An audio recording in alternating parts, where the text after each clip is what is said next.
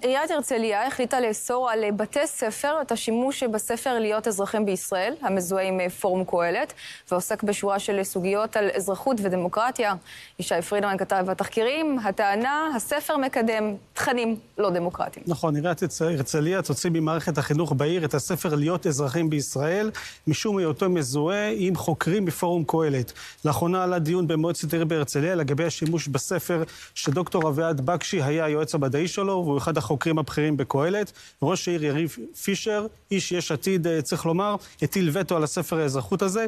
בדיון שהתקיים במועצת העיר על הספר נאמר כי הספר מהווה סימפטום של תהליכי עומק מדאיגים שהתחוללו במשרד החינוך במהלך העשור האחרון. מדובר במסמך החותר תחת יסודות המבנה החוקתי במדינה, וכי לאור הביקורות המקצועיות על הספר הספציפי הנ"ל, לפיה הוא כולל לכאורה בצד תכנים רואים גם הכשרת לבבות לתהליכים החותרים תחת השיטה הדמוקרטית בישראל, ולכן קובע ראש העיר, הספר יצא ולא ייכנס למערכת uh, בהרצליה. בואי תראי את הדיון שהתקיים בעירייה שם.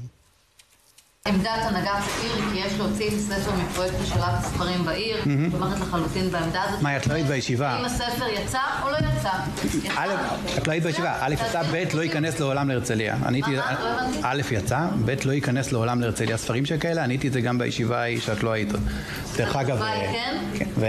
אז מ-1 בספטמבר הספר לא יהיה במערכת החינוך? וכל ספר דומה לזה לא ייכנס להרצליה. כן, אז מי שמבקרים את uh, ראש העיר על ההחלטה הזאת זה סיעת הליכוד בהרצליה. השמאל הבולשביקי, ככה הם אומרים, אינו יודע גבולות. עכשיו גם מוציאים ספר לימוד מבתי הספר בעיר, רק בגלל שיש בו תמיכה ברפורמה המשפטית, וחלילה שתלמידים יוכלו להיחשף אליו ולגב, ולגבש דעה משל עצמם.